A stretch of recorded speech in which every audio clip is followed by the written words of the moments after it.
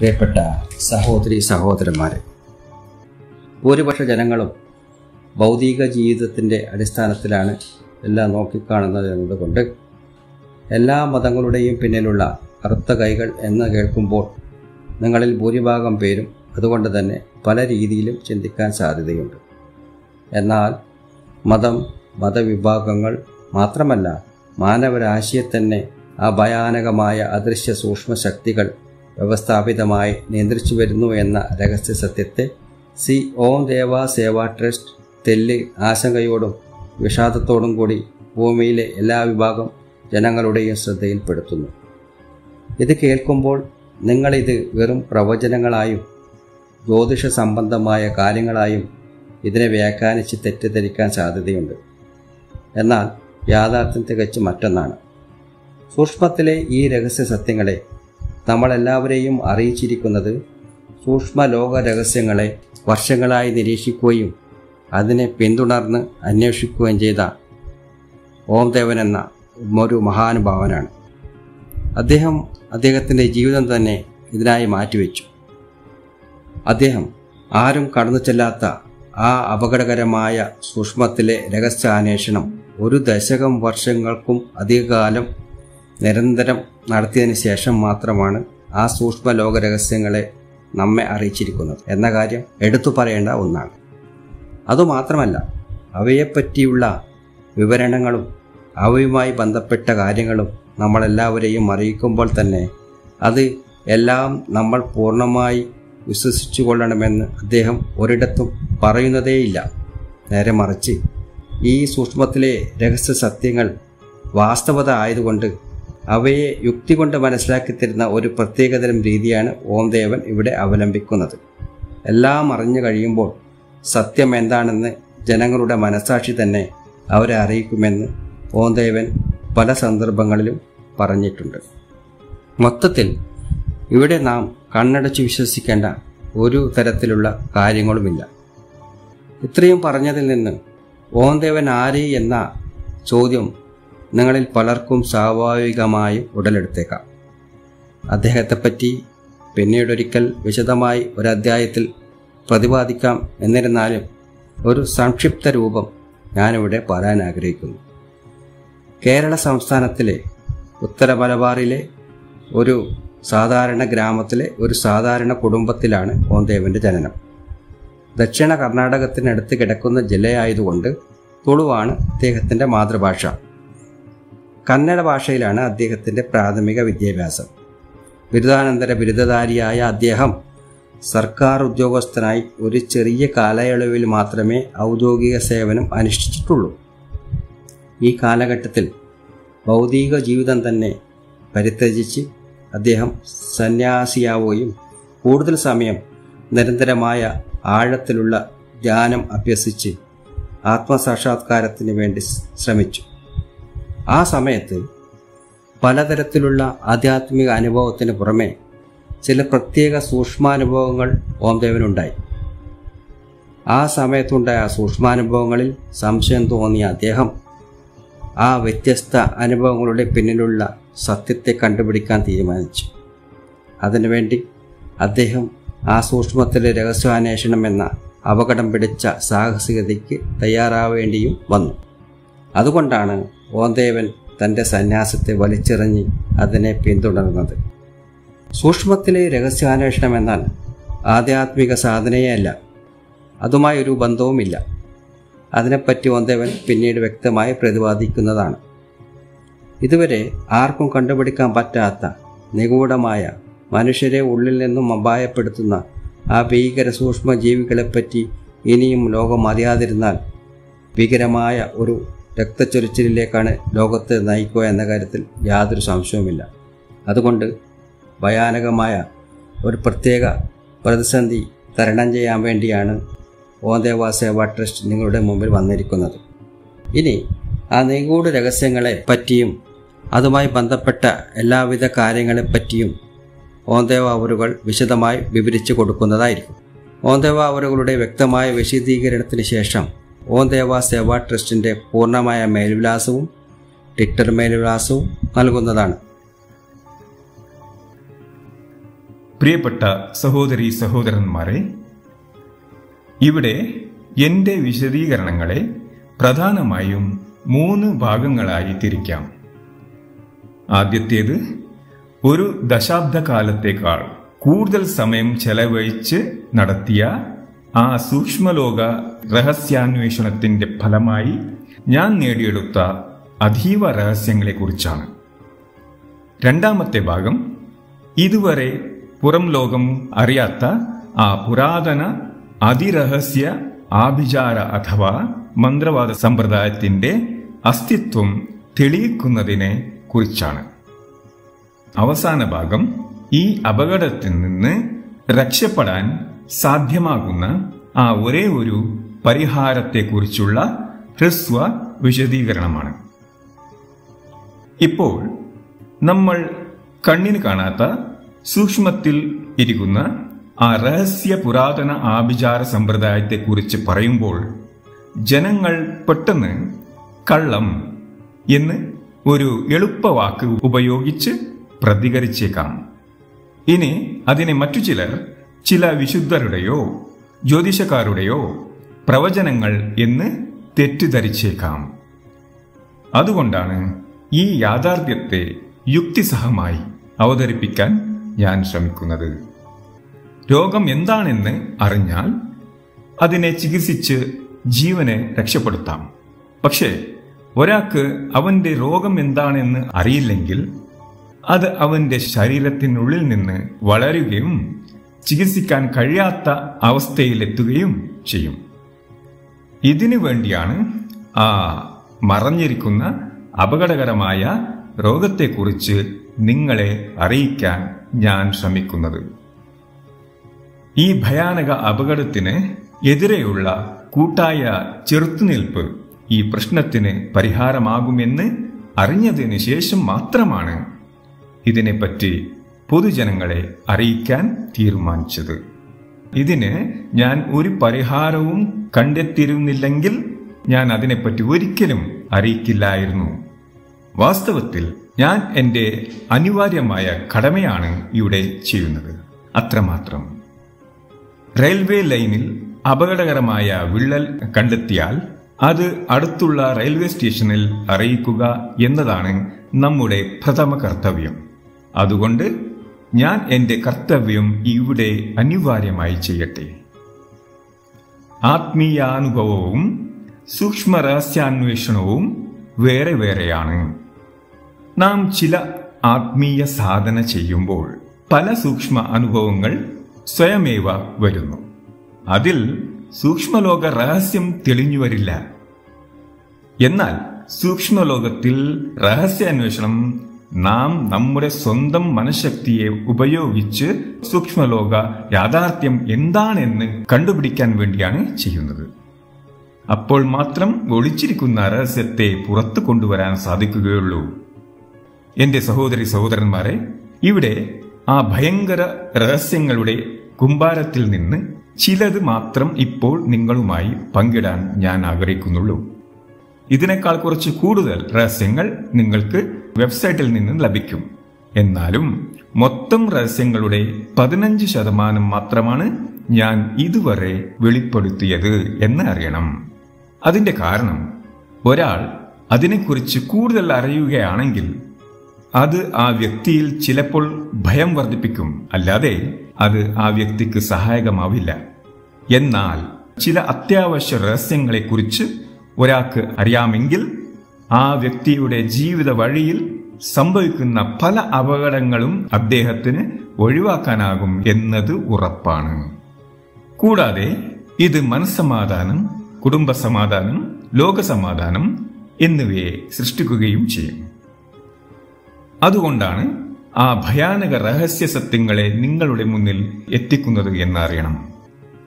ഇതുവരെ കേൾക്കാത്ത ഈ രഹസ്യ സത്യങ്ങളെ നിങ്ങൾ കേൾക്കുമ്പോൾ നിങ്ങൾക്ക് അസ്വസ്ഥത തോന്നുന്നുവെങ്കിൽ എന്നോട് ക്ഷമിക്കുക.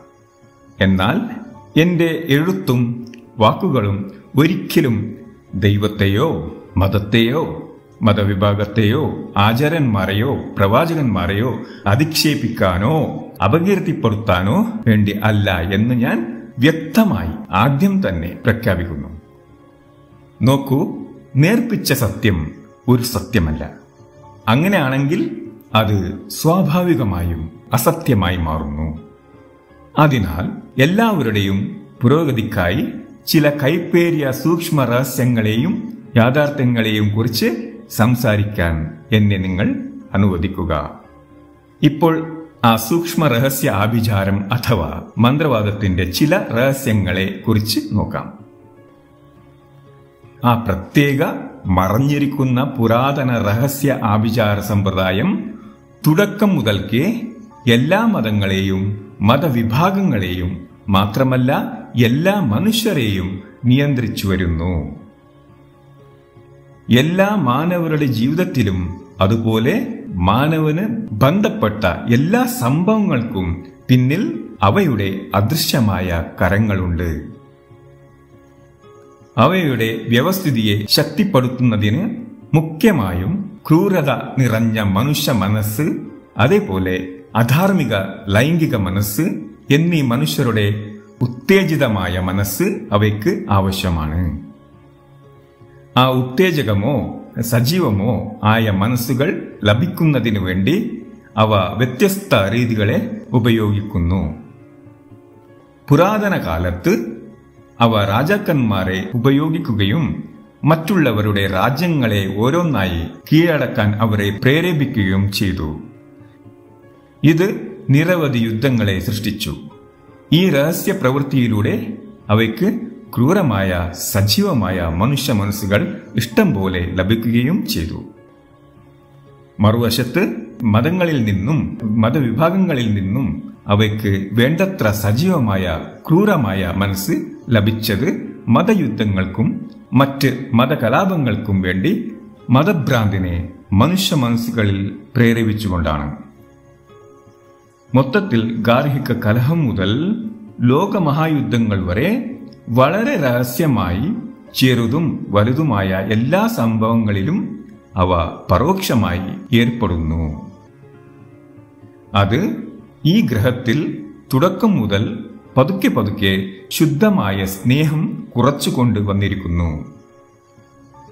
സാധാരണഗതിയിൽ അടുത്ത ബന്ധങ്ങൾക്കുള്ളിൽ ഈ ശുദ്ധമായ സ്നേഹം പ്രകടമാകുന്നത് കാണാൻ സാധിക്കുന്നു. എന്നാൽ അണുകുടുംബത്തിലേക്ക് ലോകം നീങ്ങുന്നതും വിവാഹമോചന കേസുകളുടെ വർധനവും ഈ ശുദ്ധ സ്നേഹം കുറഞ്ഞു വരുന്ന വസ്തുത വ്യക്തമായി തെളിയിക്കുന്നു. ഭാവിയിൽ ലോകത്തിൽ വിശ്വസനീയമായ ബന്ധങ്ങൾ ഉണ്ടാകില്ല. ഒടുവിൽ നിരവധി മാറ്റങ്ങൾക്ക് ശേഷം ഈ ഭൂമി വിവാഹമില്ലാത്ത ലോകമായി മാറുകയും ചെയ്യും. അതിനുവേണ്ടി അവ ഇതിനകം തന്നെ മിക്കവാറും എല്ലാ തയ്യാറെടുപ്പുകളും നടത്തി കഴിഞ്ഞിട്ടുണ്ട്. പക്ഷേ അതെല്ലാം കാലം പോകുന്തോറും സംഭവിക്കുന്നത് സ്വാഭാവികമാണ് എന്ന് മനുഷ്യരെ തെറ്റിദ്ധരിപ്പിച്ചുകൊണ്ട് അതിന്റെ അനുപാതത്തിനനുസരിച്ച് മാത്രമേ സാവധാനം ഈ ലോകത്ത് അവയെ വർദ്ധിപ്പിക്കുന്നു അത്രമാത്രം. ഭാര്യ ഭർത്തക്കന്മാർ തമ്മിലുള്ള വഴക്കുകളും വിവാഹമോചന കേസുകളും നിർത്താതെ പെരുകുന്നത് എല്ലാവരും ശ്രദ്ധിച്ചിട്ടുണ്ടാകും. വിവാഹ സമ്പ്രദായം ഇല്ലാത്ത സമൂഹത്തിൽ മതങ്ങളുടെ അവശിഷ്ടങ്ങൾ ആർക്കെങ്കിലും കാണാൻ സാധിക്കുമോ? ഇല്ല. അവിടെ ക്രൂരമായ കാമഭ്രാന്തരായ പുരുഷ സ്ത്രീ വേശ്യകൾക്ക് ദൈവികമായത് അഥവാ നന്മ എന്നത് യാതൊന്നും വേണ്ടിവരുന്നില്ല. അപ്പോൾ മതത്തിന്റെയും ദൈവത്തിന്റെയും സങ്കല്പങ്ങൾ പൂർണമായും നശിപ്പിക്കപ്പെടും. അതിനാൽ വാസ്തവത്തിൽ ദൈവം മതം തുടങ്ങിയ സങ്കല്പങ്ങൾ നിർണയിക്കപ്പെടുന്നത് മാനുഷിക സദ്ഗുണങ്ങളുടെ അടിസ്ഥാനത്തിലാണ് എന്നും അവ മറ്റൊന്നിന്റെയും അടിസ്ഥാനത്തിൽ അല്ല എന്നും നാം ഇനിയെങ്കിലും തിരിച്ചറിയണം. ഇനിയും ഞെട്ടിക്കുന്ന നിരവധി രഹസ്യങ്ങളുണ്ട്. എന്നാൽ അവയെ ഒന്നും ഞാൻ ഇവിടെ പറയാൻ ഉദ്ദേശിക്കുന്നില്ല.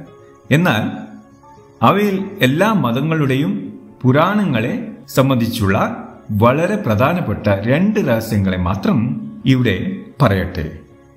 അവയിൽ ആ നരകം എന്ന സങ്കല്പത്തെക്കുറിച്ചാണ് ആദ്യം പറയുന്നത്.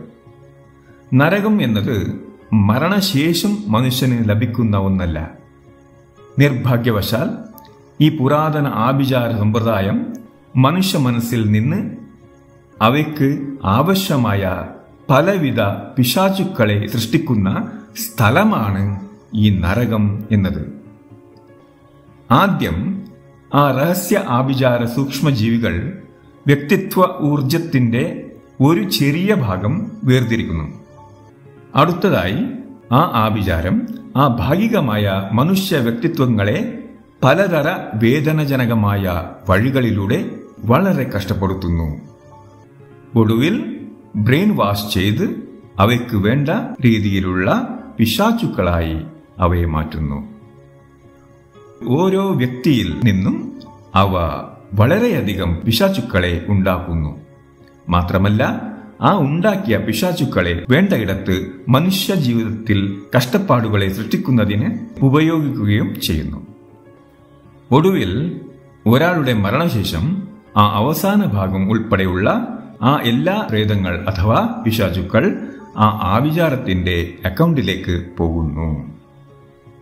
ദൗർഭാഗ്യം എന്ന് പറയട്ടെ ആ പലവിധ വേദനകൾ കൊടുത്ത് പിശാചുക്കളായി മാറ്റുന്ന ആ രഹസ്യ പ്രദേശത്തിന്റെ ചില ദൃശ്യങ്ങൾ പുരാതന കാലത്ത് ചിലർ ധ്യാനിക്കുമ്പോൾ കണ്ടിട്ടുണ്ടാകാം. അങ്ങനെ കണ്ട ആ സൂക്ഷ്മലോക പ്രദേശത്തെ മരിച്ചു കഴിഞ്ഞ് മനുഷ്യൻ അനുഭവിക്കേണ്ട നരകമായി അവർ വ്യാഖ്യാനിച്ചു. മറുവശത്ത് ആ രഹസ്യ ആവിചാരത്തിന് ആണും പെണ്ണും കാമപിശാച്ചുക്കളുണ്ട് ആ പ്രാചീന കാലത്ത് ധ്യാനത്തിലിരിക്കുമ്പോൾ ആരെങ്കിലും ആ കാമപിശാച്ചുക്കളുടെ പ്രവർത്തനം കണ്ടിരിക്കണം. സ്വാഭാവികമായി അവർ അതിനെ സ്വർഗം എന്നും വിളിച്ചു. വാസ്തവത്തിൽ ഈ കാമപ്രേതങ്ങൾ അഥവാ കാമപിശാചുക്കൾ ആ രഹസ്യ ആഭിചാരത്തിന് കൂടുതൽ കാമപ്രേതങ്ങളെ ഉണ്ടാക്കാൻ ഉദ്ദേശിച്ചിട്ടുള്ള കേവലം കാമപ്രേതങ്ങൾ അഥവാ കാമപിശാചുക്കൾ മാത്രമാണ്. കൂടാതെ ഈ കാമപിശാചുക്കൾ മനുഷ്യ ജീവിതത്തിൽ അധാർമിക ലൈംഗികതയെ പ്രേരേപിക്കാൻ ആ രഹസ്യ ആഭിചാരം ഉപയോഗിക്കുകയും ചെയ്യുന്നു. അതുകൊണ്ടാണ് എല്ലാ മതങ്ങളിലും മനുഷ്യർ കാലം പോകുന്തോറും അധാർമിക ലൈംഗികതയിലേക്ക് കൂടുതൽ കൂടുതൽ ആകർഷിക്കപ്പെടുന്നത് എന്ന് അറിയണം. ഈ ഭൂമിയിൽ വിവാഹ സമ്പ്രദായം പൂർണമായും നഷ്ടപ്പെടുന്നതുവരെ ഈ രഹസ്യ ആവിചാരം ഇതിനെ നിർത്താതെ വർദ്ധിപ്പിക്കും. ഇപ്പോൾ ദയവായി ഒരു കാര്യം ഇവിടെ ഓർക്കുക. എല്ലാ മതങ്ങളും മറ്റെല്ലാം പുരാണ വിശ്വാസങ്ങളെയും ആചാരങ്ങളെയും ശക്തമായി തമ്മിൽ എതിർക്കുന്നു. എന്നാൽ എല്ലാ മതങ്ങളും തമ്മിൽ എതിർക്കാതെ ഏകകണ്ഠമായി പറയുന്ന ഒരൊറ്റ കാര്യമുണ്ട്. അത് എന്തെന്ന് വെച്ചാൽ കാലം കടന്നു പോകുമ്പോൾ ചീത്ത ആളുകൾ ഈ ഭൂമിയിൽ വർദ്ധിച്ചു വരും എന്നതാകുന്നു. ഇപ്പോൾ ഒരു മുഖ്യമായ ചോദ്യം ഉയരുന്നു. അതായത് എല്ലാ മതങ്ങൾക്ക് മറ്റ് ആചാര വിശ്വാസ കാര്യങ്ങളിൽ കടുത്ത വിയോജിപ്പ് ഉള്ളപ്പോൾ എന്തുകൊണ്ടാണ് അവയെല്ലാം ഇക്കാര്യത്തിൽ മാത്രം ഒരേ രീതിയിൽ സംസാരിക്കുന്നത്? ഇതാണ് ആ ചോദ്യം. ഇതിന്റെ പിന്നിലുള്ള രഹസ്യം എന്തായിരിക്കും? നോക്കൂ ഞങ്ങൾക്കെല്ലാം സൂക്ഷ്മ സത്യങ്ങൾ അറിയാം എന്ന് എല്ലാ മതങ്ങളും അവയ്ക്ക് അറിയാവുന്ന ആ തമ്മിൽ വിരുദ്ധമായ സൂക്ഷ്മ അനുഭവത്തെക്കുറിച്ച് പരസ്പരം വാശിയേറിയ വിശ്വാസ സംവാദം നടത്തുകയും അതിനുവേണ്ടി ചിലപ്പോൾ യുദ്ധവും ചെയ്തു വരുമ്പോൾ അവിടെ സൂക്ഷ്മ യാഥാർത്ഥ്യം അഥവാ സൂക്ഷ്മ സത്യം എന്താണെന്ന് അറിയാനുള്ള ആ ഏക മാർഗമായ സൂക്ഷ്മ രഹസ്യാന്വേഷണം നടത്താൻ മനുഷ്യർക്ക് സാധ്യമാകുമോ? അങ്ങനെ ചിന്തിക്കാൻ പോലും ആ ഏക സത്യത്തെപ്പറ്റി അവരവരുടെ ആ ഉറച്ച വിശ്വാസമുള്ള മനസ്സ് അതിനെ സമ്മതിക്കുമോ? ഇല്ല. ഒരിക്കൽ കൂടി ഓർക്കണം. ഉറച്ച വിശ്വാസം എന്നത് ഒരിക്കലും യാഥാർത്ഥ്യം അഥവാ സത്യം എന്താണെന്ന് അങ്ങോട്ട് എത്തി നോക്കാനും മനസ്സിനെ അനുവദിക്കുകയില്ല. ഇതാണ് ആ രഹസ്യ പ്രാചീന ആവിചാരത്തിന്റെ വിശ്വാസക്കിണി എന്ന് അറിയപ്പെടുന്നത്. ഈ വിശ്വാസക്കിണി അവയുടെ ആ രഹസ്യം സൂക്ഷിക്കുന്ന പല അടവുകളിൽ വളരെ മുഖ്യമായ ഒന്നാകുന്നു എന്ന് അറിയണം. ഇങ്ങനെയാണ് അവയുടെ രഹസ്യ ചതിയെ പുറത്തു വരാത്ത പോലെ ഇതുവരെയും കാത്തു സൂക്ഷിച്ചത്. ദയവായി ഇതിനെപ്പറ്റി കൂടുതൽ ചിന്തിക്കുക. ചുരുക്കത്തിൽ ഇതുവരെ സൂക്ഷ്മ രഹസ്യാന്വേഷണം ഉണ്ടായിരുന്നില്ല. അതിനാൽ ജനം ഇതുവരെ സൂക്ഷ്മ യാഥാർത്ഥ്യങ്ങളെക്കുറിച്ച് അറിയാതെ ചതിക്കപ്പെട്ടത്.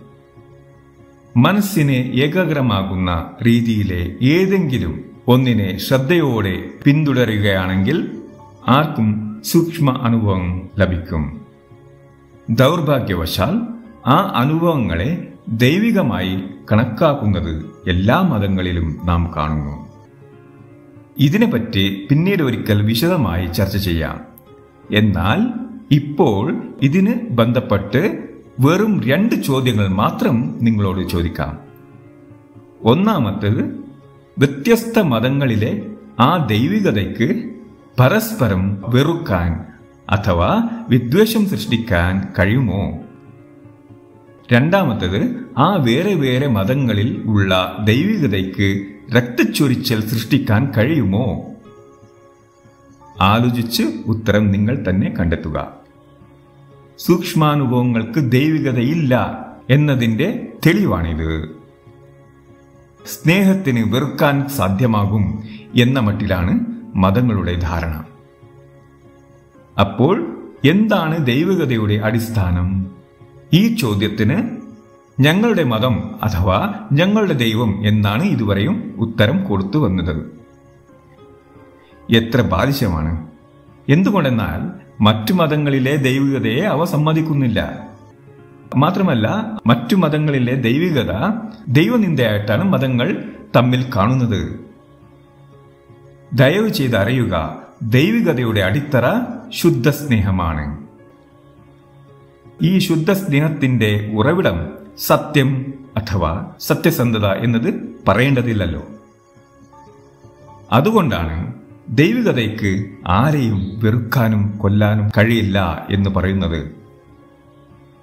ദൈവികത ഉള്ളിടത്ത് കലഹം ഉണ്ടാവുകയില്ല യുദ്ധം ഉണ്ടാവുകയില്ല ശാന്തി മാത്രമേ ഉണ്ടാവുകയുള്ളൂ. ഇങ്ങനെയാണ് ഒരു മതം പഠിപ്പിക്കേണ്ടത്. പക്ഷേ തലതിരിഞ്ഞ മട്ടിൽ അവ മതങ്ങൾ കൊണ്ട് വിദ്വേഷം മതയുദ്ധം മതകലാപം കൊണ്ട് ഭയാനക രക്തച്ചൊരിച്ചിലും ഉണ്ടാക്കി അവസാനം നമ്മുടെ മതം ശാന്തിയാണ്. ശാന്തിക്കായി മാത്രമാണ് നമ്മുടെ മതം ഉള്ളത് എന്ന് ഒരു വാക്യം കൂട്ടിച്ചേർക്കുന്നു. അപ്പോൾ മതവിശ്വാസികൾ എല്ലാവരും ശരി എന്ന് തലയാട്ടുകയും ചെയ്യുന്നു. ഉറച്ച വിശ്വാസമല്ലേ? ആലോചിക്കേണ്ടതില്ലല്ലോ. അയ്യോ എന്തൊരു വിഡിത്തമാണ് ഇപ്പോഴെങ്കിലും ആ രഹസ്യ പ്രാചീന ആഭിചാരത്തിന്റെ പൂർണ നിയന്ത്രണം സ്പഷ്ടമാകുന്നില്ലേ? രണ്ട് കൂട്ടണം രണ്ട് സമം എട്ട് പത്ത് ഇരുപത് എന്നിങ്ങനെയുള്ള അവരവരുടെ ഉത്തരങ്ങളെ രക്ഷിക്കാൻ എല്ലാവരും പുറപ്പെട്ടാൽ ഗണിതത്തിന്റെ അഥവാ സത്യത്തിന്റെ ഗതി എന്തായിരിക്കും? അതേപോലെ മതസംവാദം മതയുദ്ധം ഈ വിരുദ്ധ വിശ്വാസങ്ങൾക്ക് വേണ്ടി നടത്തിയാൽ സത്യത്തിന്റെയും മനുഷ്യരാശിയുടെ ശാന്തിയുടെയും ഗതി എന്തായിരിക്കും? വിദ്വേഷത്തിനും രക്തച്ചൊരിച്ചിലിനും വേണ്ടി മാത്രമാണ് ആ ഒളിച്ചിരിക്കുന്ന പ്രാചീന രഹസ്യ ആഭിചാരം മനുഷ്യരെ വിവിധ മതങ്ങളിലേക്ക് അതുപോലെ മതവിഭാഗങ്ങളിലേക്ക് വിഭജിച്ചു വന്നിരിക്കുന്നത്. ഇത് അവയ്ക്ക് വേണ്ട ആ മനുഷ്യരുടെ ക്രൂരമായ മനസ്സ് ലാഭമാക്കി കൊടുക്കുന്നു എന്നതാണ് വളരെ ഞെട്ടിപ്പിക്കുന്ന രഹസ്യസത്യം വാസ്തവത്തിൽ ജനങ്ങൾ അവരുടെ ദൈവത്തിനും മതത്തിനും വേണ്ടി ഭ്രാന്തമായി പോരാടുന്നത് ഈ ഭയാനകമായ രഹസ്യ ആഭിചാരത്തിന്റെ ആസൂത്രിത പദ്ധതിയാണ് എന്ന് ഈ പാവപ്പെട്ട ജനങ്ങൾ ഇന്നും അറിഞ്ഞിട്ടില്ല.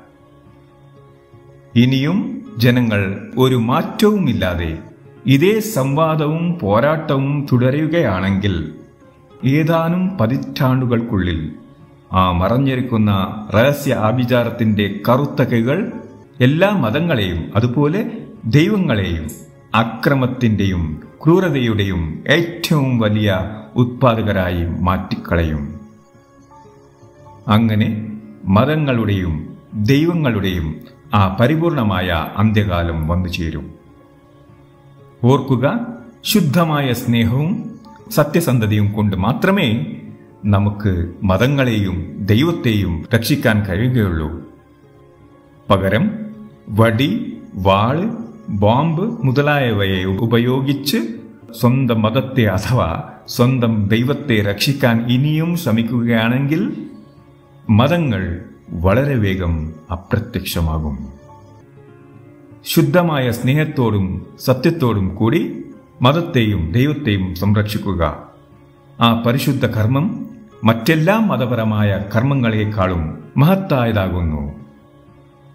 ആ രഹസ്യ പുരാതന ആവിചാര സമ്പ്രദായത്തെക്കുറിച്ചുള്ള എന്റെ ഹ്രസ്വ വിവരണം ഞാൻ ഇവിടെ നിർത്തുകയാണ്. ഇനിയൊരു ഞെട്ടിപ്പിക്കുന്ന കാര്യമെന്നാൽ ഈ പുരാതന രഹസ്യ ആവിചാരവും ഏലിയൻസും അഥവാ അന്യഗ്രഹ ജീവികളും തമ്മിലുള്ള ബന്ധമാണ്. അതിനെപ്പറ്റി നമുക്ക് അടുത്ത എപ്പിസോഡുകളിൽ ചർച്ച ചെയ്യാം. ഒരിക്കൽ കൂടി പറയട്ടെ ഈ ക്രൂരതയിൽ മാറ്റം വരുത്താതെ നമ്മൾ എല്ലാവരും ഇതേപോലെ തമ്മിൽ വെറുക്കുകയും പോരാടുകയും ചെയ്താൽ ഇനി രണ്ട് നൂറ്റാണ്ടുകൾക്കുള്ളിൽ മനുഷ്യ മനസ്സിന്റെ ക്രൂരതയുടെ അളവ് ജനങ്ങൾക്ക് അതിൽ നിന്ന് എന്നേക്കുമായി തിരിച്ചു വരാൻ കഴിയാത്ത തലത്തിലേക്ക് വർദ്ധിക്കും. അപ്പോൾ എല്ലാവരും ക്രൂര പിശാചുക്കളെ പോലെ ആകും പെരുമാറുക. സമാധാനം സ്നേഹം മാനവികത സഹായം വിവാഹം തുടങ്ങിയ വാക്കുകൾ പോലും അന്ന് ഉപയോഗശൂന്യമായി തീരും. അന്ന് ആ ഏലിയൻസ് നിർമ്മിത ആ രഹസ്യ പുരാതന ആഭിചാര സമ്പ്രദായത്തിന്റെ ആ അന്തിമ വിജയമായിരിക്കും. ദയവായി സത്യത്തെയും സ്നേഹത്തെയും ധാർമ്മികതയെയും കേവലം വാക്കുകളിൽ മാത്രം ഒതുക്കരുത്. കാരണം അവ സമാധാനപരവും ക്രിമിനൽ ചിന്താഗതി ഇല്ലാത്തതും മനുഷ്യത്വമുള്ളതുമായ ഒരു സുവർണകാല സമൂഹത്തിന്റെ ശ്വാസമാണ്. അവസാനമായി ആ അന്യഗ്രഹജീവി നിർമ്മിത രഹസ്യ പ്രാചീന ആഭിചാരത്തെ എതിർത്ത് ജീവിക്കാൻ നമ്മുടെ അടുത്ത് വെറും രണ്ട് ആയുധങ്ങൾ മാത്രമേ ഉള്ളൂ. അതിൽ ഒന്ന് ശുദ്ധമായ സ്നേഹം മറ്റൊന്ന് സത്യസന്ധത ആകുന്നു. ഇവയെ ശരിക്കും എല്ലാ മതങ്ങളും മതവിഭാഗങ്ങളും മതത്തിന്റെയും ദൈവത്തിന്റെയും അടിത്തറയായി സത്യസന്ധമായി ഉപയോഗിച്ചാൽ ആ ഭയങ്കരമായ പിശാചുക്കൾക്കെതിരെ മനുഷ്യരായ നമുക്ക് വിജയം കൈവരിക്കാൻ സാധിക്കും. അങ്ങനെയുള്ള സമീപനത്തിന് മാത്രമേ ഈ ദുരിതം അനുഭവിക്കുന്ന ലോകത്തിന് സന്തോഷത്തിന്റെയും സമാധാനത്തിന്റെയും ഒരു സുവർണകാലം കൊണ്ടുവരാൻ സാധിക്കുകയുള്ളൂ. അതിനുവേണ്ടി എല്ലാ മതഗ്രന്ഥങ്ങളിലും നാം കാണുന്ന ദൈവം സത്യമാണ് ദൈവം സ്നേഹമാണ് എന്ന മഹത്തായ ദൈവിക വചനങ്ങളെ എടുത്ത് ഉപയോഗിച്ച് എല്ലാവരും അവരവരുടെ ദൈവത്തെയും മതത്തെയും കൂടുതൽ ശക്തിയോടെ ആരാധിക്കാനും അനുസരിക്കാനും തുടങ്ങും എന്ന് പ്രത്യാശിക്കുന്നു. പ്രിയമിത്രങ്ങളെ ഓതവന്റെ ആ വ്യത്യസ്ത അനുഭവത്തിന്റെ വിവരണങ്ങളിൽ നിന്ന് സൂക്ഷ്മത്തിന്റെ ആ പ്രത്യേക ആഭിചാര ശക്തികളെപ്പറ്റി നിങ്ങൾക്ക് ചെറിയൊരു ധാരണ ഉണ്ടായിരിക്കുമെന്ന് ഞാൻ വിശ്വസിക്കുന്നു. ഈ ലോകം ഒരു ശാശ്വതമായ ശാന്തിയിലേക്ക് പോകണമെന്ന് മാത്രമാണ് ഞങ്ങൾ ആഗ്രഹിക്കുന്നത്. വിശദമായ വിവരങ്ങൾക്ക് നിങ്ങൾക്ക് ബന്ധപ്പെടാവുന്ന വാട്സപ്പ് നമ്പർ ആറ് മൂന്ന് ആറ് നാല് ഒമ്പത് പൂജ്യം ഒമ്പത് നാല് ഒമ്പത് അഞ്ച്. നിങ്ങളുടെ എല്ലാവിധ സംശയങ്ങളും അഭിപ്രായങ്ങളും ചോദ്യങ്ങളും ഈ നമ്പറിൽ എഴുതി അറിയിക്കാവുന്നതാണ്. നേരിട്ട് വിളിച്ചുള്ള ഒരു വിധത്തിലുള്ള അന്വേഷണങ്ങളും ചോദ്യങ്ങളും സാധ്യമല്ല എന്നതുകൂടി നിങ്ങളെ എല്ലാവരെയും ഞങ്ങൾ അറിയിക്കുന്നു. എല്ലാവർക്കും ഒരു നല്ല നാളെ ആശംസിച്ചുകൊണ്ട് ഞാൻ നിർത്തുന്നു. നമസ്കാരം.